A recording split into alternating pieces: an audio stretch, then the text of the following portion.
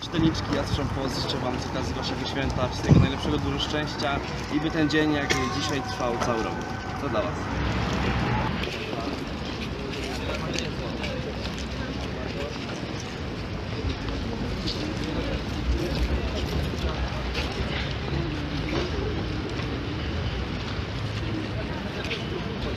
Yeah.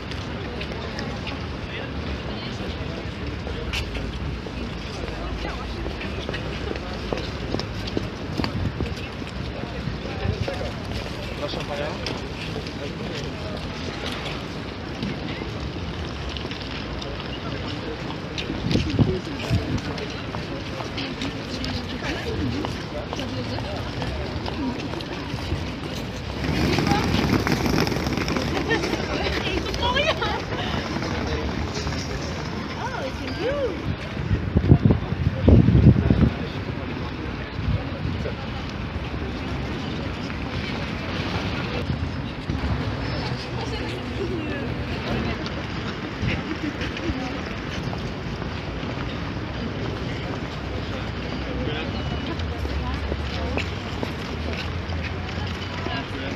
そうで